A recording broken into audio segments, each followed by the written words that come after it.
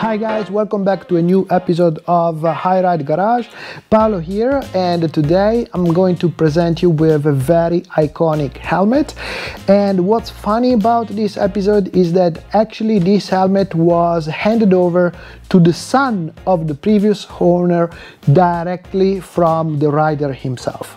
So who are we talking about? Well, here is a hint. You can see the brand this is a kind of cool vintage brand, Isbell. Okay, nowadays they also produce newer helmets with a bit of old school style and new features. But this is actually coming directly from the 90s, and this is the helmet of one of the superstar of the American season and that's John Kocinski. So during the 80s and the 90s, the Americans, they were very, very strong.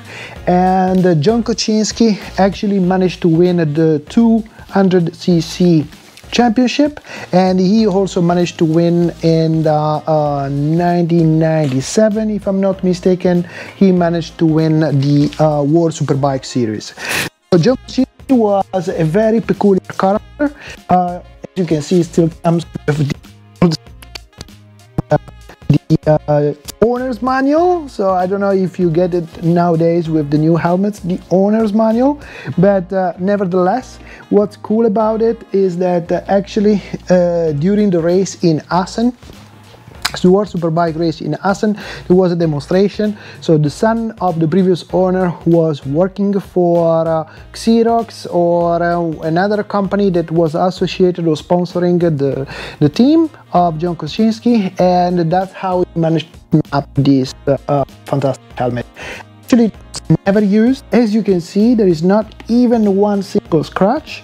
It's in pretty beautiful conditions and uh, here it is, John Kocinski. And um, as we uh, as we know, John Kocinski was a very peculiar person, very peculiar rider, beautiful smooth style and uh, he had quite a character. So he would say that uh, unless a rider can win the championship within two years of the season then he would not win and he wouldn't be competitive enough. So this would actually hunt him because unfortunately he did not manage to win the 500cc championship. Although he was up there it was very close it was very exciting and he competed with the Cagiva and he took the Cagiva very very close close up there. Okay they never quite made it. Even Eddie Lawson never quite made it but it was a great great effort. And uh, John Kocinski also we remember him after the Laguna Seca race where he was the runner-up. So he lost against Michael Scott.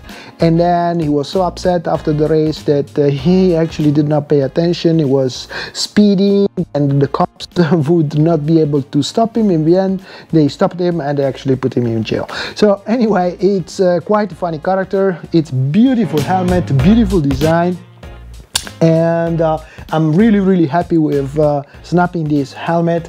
And uh, as you can see it really has the old school design the American flag the eagle. I hope that you can appreciate its beauty and the old logo. And as you can see this is not actually a sticker.